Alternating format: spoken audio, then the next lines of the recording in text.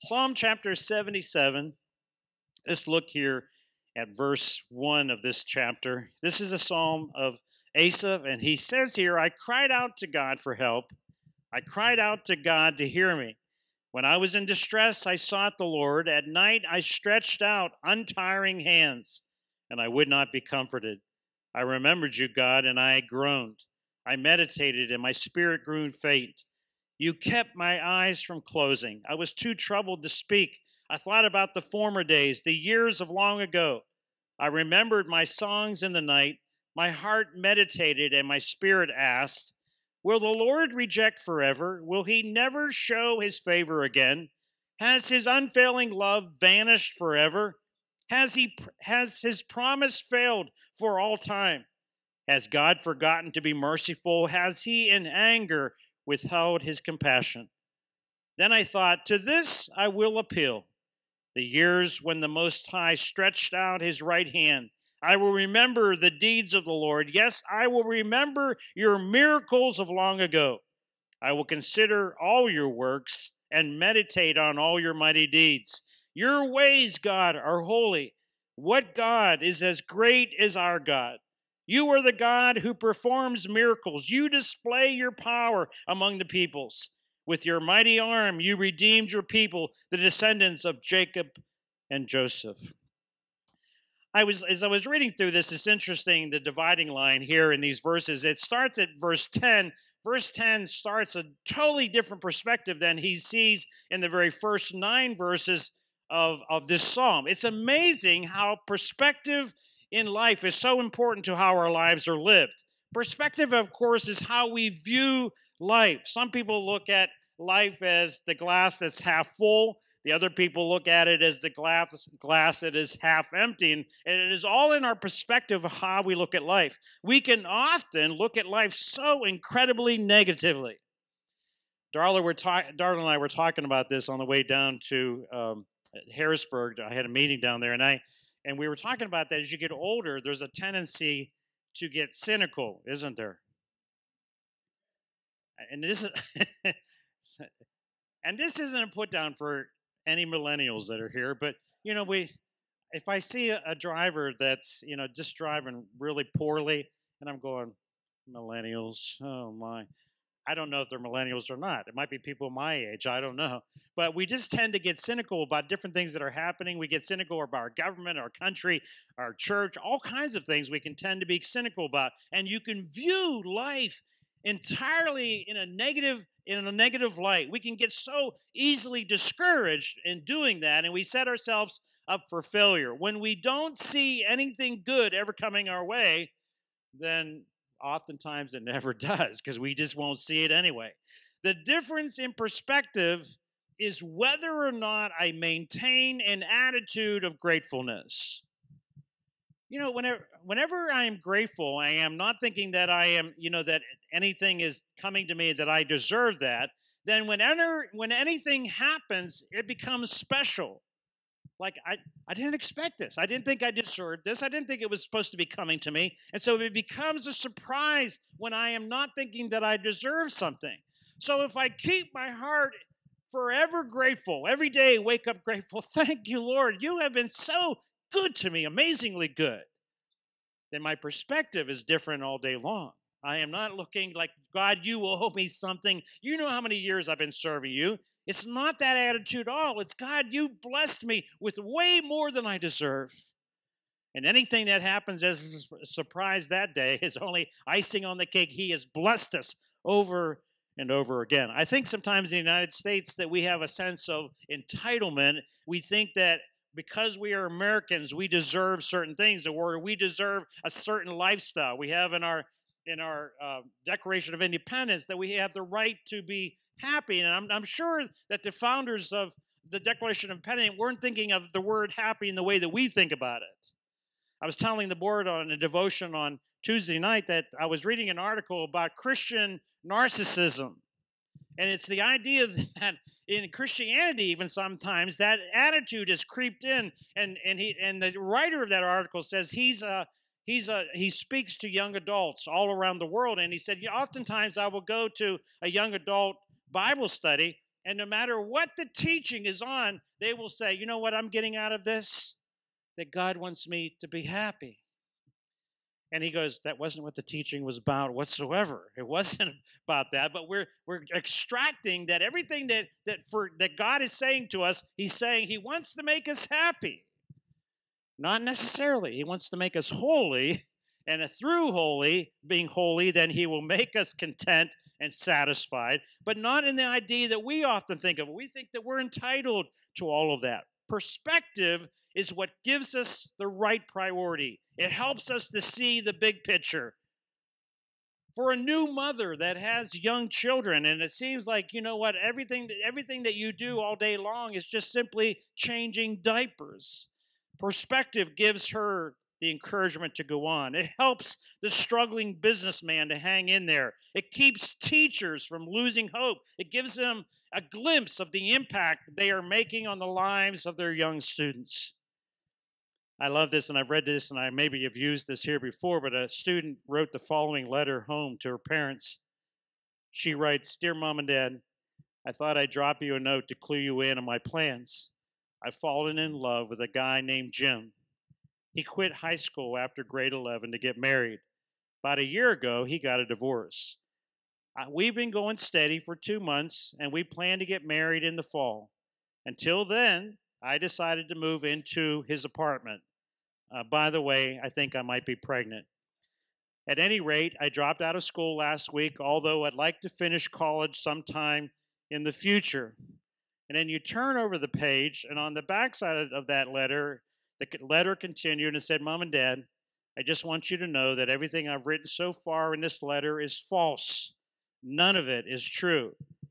But, Mom and Dad, this is true. I got a C minus in French, flunked my math. It is true that I'm going to need a whole lot more money to pay for my tuition. So even bad news can sound good if you see it from a different perspective. I mean, I imagine those parents after reading the first page and then flipping it over go, "Whoa, what a relief! No problem. We'll pay the tuition. That's okay." I heard a story um, a couple of years ago about a farmer who uh, he said to the Lord in praying, he said, "I promise you, if you will ever give any of my cattle twins." I promise that I will give you one of the twins entirely, the income from that cow will go entirely to you. So one day, one of his calves has twins. He was absolutely thrilled about it. He said, You know, Lord, you did this thing. I promise you, I'm going to keep my word. I'm going to give you one of the twins, and when the cow grows up, I'm going to sell the cow. Whatever I get for it is entirely yours. One day he goes out and he sees that one of the twins had died. Very discouraged. Thought about it for a moment and then he looked up to heaven and he said, Sorry, Lord, you lost your cow.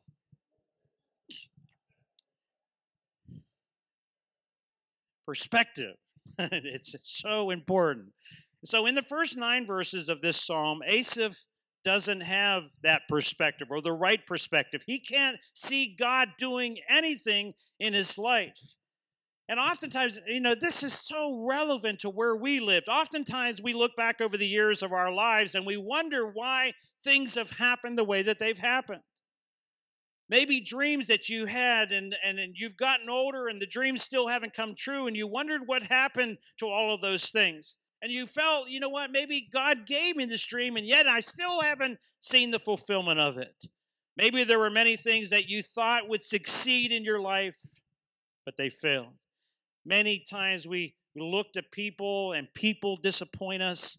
And so we end up viewing everything from that point on through the lens of those hurts that people have done to us. In the first 10 verses of this psalm, Asaph uses the personal pronouns 22 times.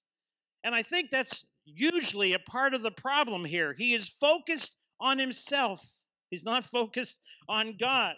And the results of focusing on himself are listed here.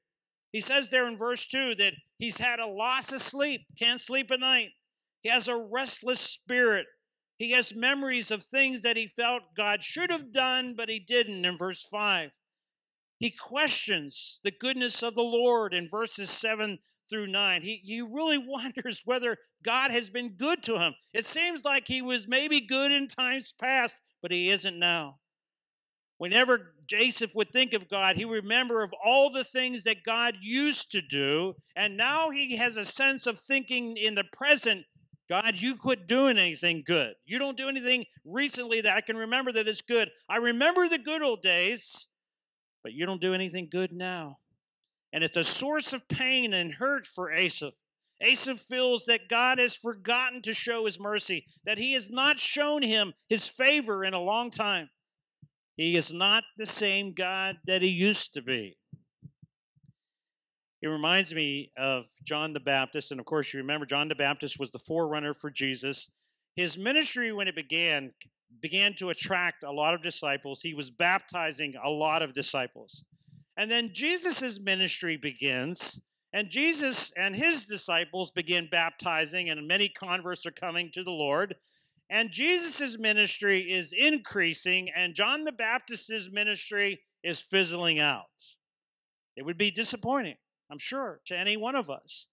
On top of it all, John gets thrown into prison for preaching the gospel, for doing what Jesus wanted him to do. He gets thrown into prison for preaching the gospel. And so I'm sure while he's in there, he's maybe hearing of all the good things that Jesus is doing and the miracles that are happening. John, of course, naturally wants to be a part of that. But he's stuck in prison. And so he sends two disciples to talk to Jesus, and this is what he tells them to ask Jesus. He says, Are you the one who was to come, or should we expect someone else? Wow. Strong words coming from John the Baptist, the forerunner, the one that was filled with the Holy Spirit in his mother's womb. This man of God, he says, You know what? Are you the same Jesus that I was supposed to be forerunning for? Are you the one that is to come, or should we look for somebody else? I, I think all of us have been there at times. There's times in our Christian walk with the Lord that we look at what God is doing and say, God, that's not that's not you. You, you don't do things this way, and you're not doing anything especially for me. Where are you? Where, where's the God that I knew when I first got saved? Who, where's that God at? In Luke chapter 24, verse 13 through 27, and you don't need to turn there, I'm not going to spend much time there, but there are, there are two disciples that are on the road to Emmaus there. And they're walking along, and the scripture says that their faces are downcast. They're not even looking up, they're just looking at the road as they walk along with their feet and Jesus comes along and he starts walking with them, and they don't have a clue of who he is. And he begins to talk about the things that have happened, and they're like, "What are you, a foreigner around here? Don't you under, Don't you know all of the things that have been going on? This Jesus that we we we served, and we were his disciples, and he died. Wow, we didn't expect that to happen from him." And the disciples told Jesus as they're walking along the road, "But we had hoped that this would happen. We often say the same things. God, I, I had hoped that you would do it this way. I told you a couple of weeks ago about what we had hoped whenever we were fighting for the kids in the courts, and it just simply was not turning out that way. And we were like, God, but we had hoped you'd do it this way. Why mm-hmm. not? Why aren't you doing it that way? We all go through situations like that where we where there are things that are happening in our lives now that are not the way that we would have hoped that God would have done it. We often say things like this I hope I would I would have hoped that I got the promotion at work. I would have hoped to have find the right person to marry by now. I would have hoped to have been in this career. I would have hoped my kids would have done this. We all there. We all have these unmet expectations that we don't see being fulfilled and it causes us discouragement. Oftentimes, what we do as Christians, we will say, you know what, I, I want to do God's will, but then when it doesn't go and when He doesn't act the way that we should, we think He should act, then we become very discouraged by that. In Scripture, whenever they are the, the, the psalmists are talking about putting putting their hope in God, it is not in this in the type of hope that I am going to determine how God does this. The kind of hope that they are placing in the Lord is the kind of hope that says, God, I'm putting my trust in you. And if it goes the way that I like it, or if it doesn't, it doesn't matter. My hope's in you, Lord. It's not dependent on the way that you do it, it's dependent that I trust you. I know your character, God. I'm trusting in what you decide, whatever way that is. My hope's in you, God. Whenever I look back on my own life, there are sometimes in my life, eh, looking back, I didn't understand at the time, but looking back now, I'm so very thankful that the Lord said no. I was dating a girl for five years and she went off to college. I didn't go to college, stayed at home. She went off to college. I thought that we were going to get married when she came home after her first year. But through that time in that first year of college, we began to drift apart. I was going in one direction, she was going in another direction. Eventually, she came home over Christmas. We broke up. And I was really, you know, I was really torn up about that. I thought this was the girl I was supposed to marry. A couple months, probably three months later, I met Darla. And, uh, and I, you know, at the time, whenever you're, you know, you're sad and you're tearful and all those kinds of things, you think, God, why don't you work out things the way that I want you to work things out? Well, boy, am I ever so thankful that he said no. So thankful. I I have enjoyed a life with Darla that I could never imagine. The the blessings of the wife that God gave me. Thankfully, he said no.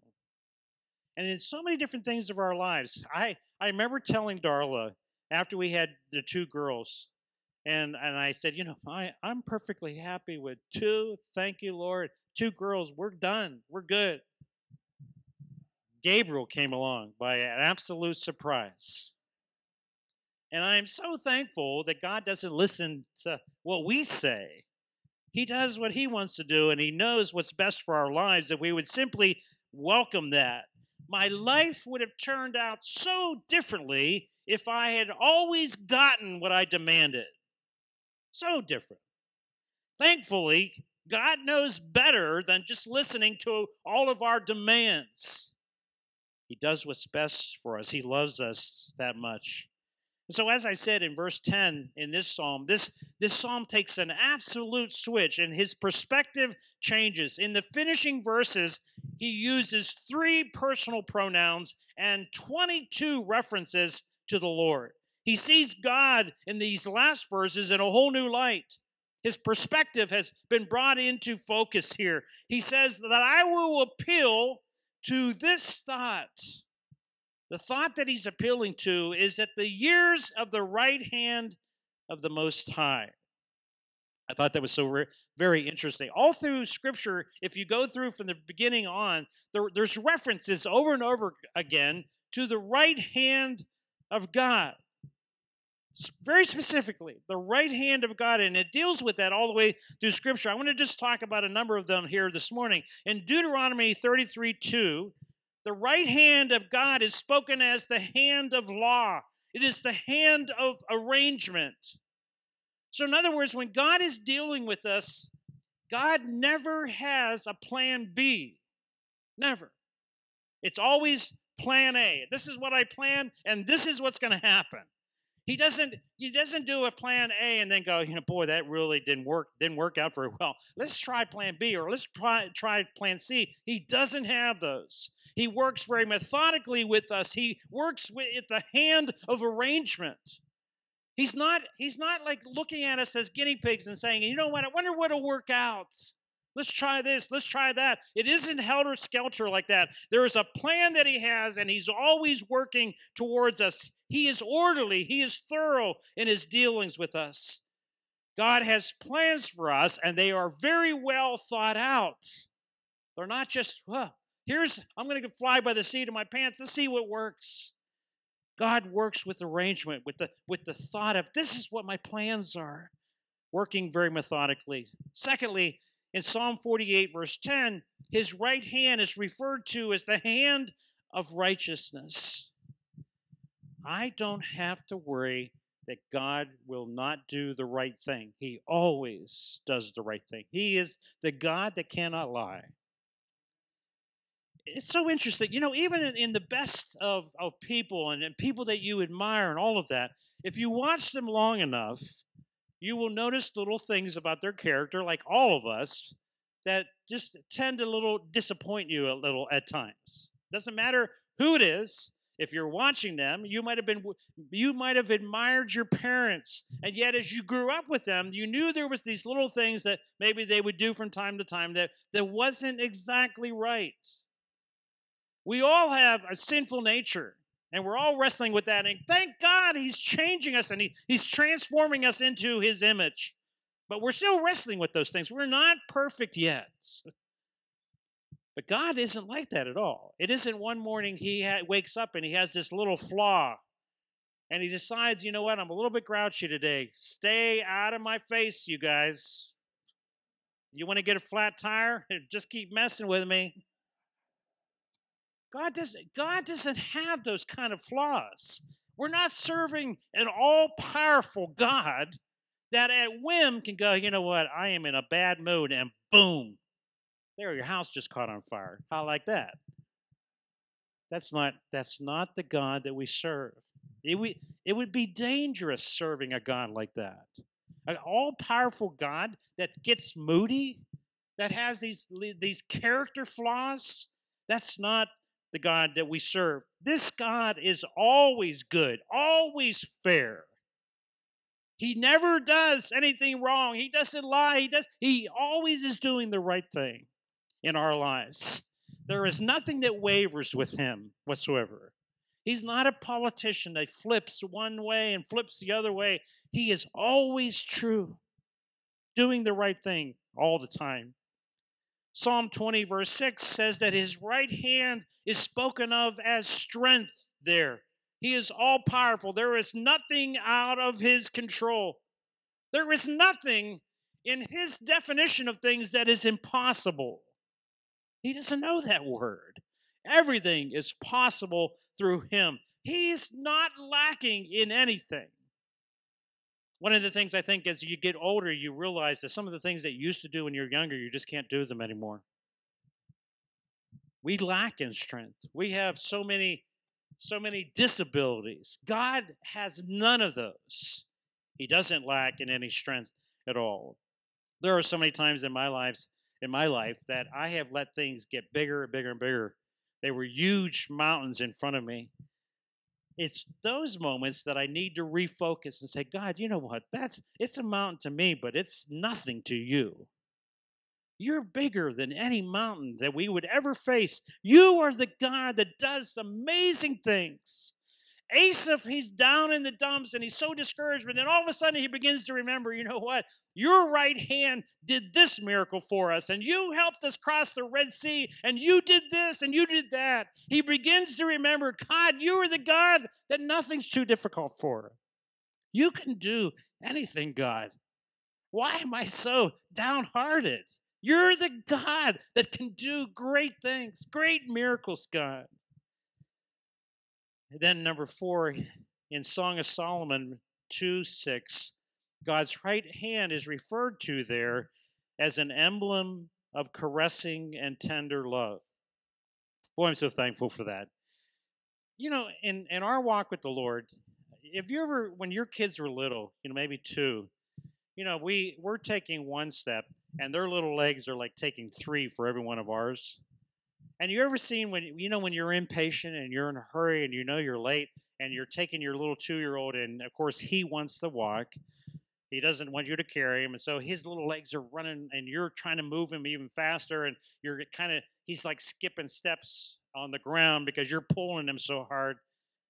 Aren't you thankful that's not what God does? We do that sometimes as parents. But God doesn't do that. He doesn't say, you know what, like you're the slowest walker. You have such little faith, Tim. I'm just going to have to drag you the whole way. He walks at the speed that you're able to walk, whatever that is. He's not running way ahead of you and say, Shame on you. Can't you go any faster than that? He walks beside you, the scripture says. And so if you're walking slow and you're not, you know, you're having doubts and you're not a man or woman of great faith, he's still there beside you. He didn't run off into the distance somewhere and then belittle you because you can't keep up. He walks there beside you, whatever pace that you're willing to walk, whatever pace that you're at right now in your spiritual walk with the Lord, God is there alongside of you. He's tender in how he treats us, He's a gentleman. He deals with us in compassion and love. His mercies are new every morning. He's not belittling you because you can't keep up. He's leading you on. He's beside you. He's walking beside you. In Psalm 16 or Psalm 8 118 verse 16 it says there that his right hand is the hand of action. You know, we we procrastinate a lot of things. We we promise that we're going to do this and then you know, we're all busy. Some things we get done, some things we don't get done. But God is methodically working his plan out, and, and he knows his plan ahead of time, and he's accomplishing what he wants to accomplish on his time schedule. He's not late. He's ne- never early, maybe, too. He's methodically always directly on time with the schedule that he has. So he's not he's not laying back and he goes, you know what? I, I've been miss I just missed two weeks and so now I need to catch up a little bit. It isn't that at all. God is a God who never takes vacations, never sleeps or slumber, the scripture says. He's not backing out of his job because he gets tired. God is a God who is always in action. I read a book years ago that just so ministered to me, and it was written by Ron Mehl. And the title of the book is that God works the night shift. When you're sleeping, He's working. He never stops. He is always working, going before us. He's always methodically planning what he's going to do. He's a God of action. Never lazy, never a slacker. He is always moving in direction for us. He's working for us all the time. And then lastly, in Psalm 16, verse 11, it says this You have made known to me the path of life. You will fill me with joy in your presence, with eternal pleasures at your right hand. There is nobody that satisfies like the Lord. Each one of us, and we say this over and over again, but it is absolutely true. Each one of us has a God sized hole within each one of us. And we try to fill it with everything else. We try to fill it with things and achievements and relationships and all of those kinds of things, hoping that somehow those things will satisfy. But God has left this huge hole inside each one of us that will always be restless, always unsatisfied, always needing something else until we fill it with God Himself. And then we realize really the meaning of life. The reason that we get up in the morning is because of Him. He fills us and satisfies us like nothing ever else can. And so, whenever we realize that, he said his right hands provide eternal pleasures for us, not just what waits for us. From this moment on, eternal means from this moment through ever, God is filling us and satisfying us over and over again that can only be filled by Him alone. No one else can fill that emptiness in our hearts. Worship team, if you'd get ready to come. Asaph comes to the realization that God has our years, his years, in his right hand. You are completely safe there. You know what? We, we need the right perspective. The perspective that Asaph has from verse 10 on down. We need to keep that as the perspective of our lives. The scripture says in Romans if God is for us, then who can be against us? Jeremiah 29 11, I used to write this at the bottom of every letter that I would send out. For I know the plans I have for you, declares the Lord plans to prosper you and not to harm you, plans to give you hope and a future. You know, I, I, I end up talking to different people and many people that don't know the Lord. And, and I've, you know, you know too, we are living in a time when people are so fearful of so many different things. They're fearful of their lives. They're fearful of catching the coronavirus and dying. You know, I, I really have to say within my own heart, you know, I, I don't want to die of coronavirus anymore than I want to get hit by a bus. But I'm not I'm not staying up at night worrying about getting the coronavirus. I, it just it never crosses my mind. If I died from the coronavirus, the Lord knew that it was time to go home. My years are in his right hand. I, I don't have to worry about that. If God is able to keep me in life, he will keep me in the valley of the shadow of death. I don't I'm not worrying about that day that the time comes for me to meet him. I'm not, I'm not thinking about that. I'm I want to serve God fully in the days that he gives me and when my time comes to go, thank God, we'll be home. And so I'm not staying up night and worrying about, boy, if I catch that thing, man, I might die from that. Not at all. Not that I'm a great man of faith by any means. I'm just simply saying, Lord, we're going to trust you. We, are, we cannot do anything else. We put our lives into your hands. And when that moment comes for us to meet you face to face, it will be worth it all. We sang the chorus for years. It'll be worth it all when we see him face to face. And so I'm not worried about that day. I'm not I'm not fretting over worrying I'm going to get this or I'm, you know if you drive out on 30, you're putting your life at risk every single day. There's no guarantee of tomorrow for any one of us. So I'm not going to worry about when that day comes. He'll be his grace will be sufficient when the day that he takes me home. I'm going to live fully for the Lord Jesus Christ. I'm going to trust him in the middle of all the fear that is in our culture, in our country, in this world. I'm going to trust God because my life is in his right hand. My moments, my days, my months, my years are in His hand.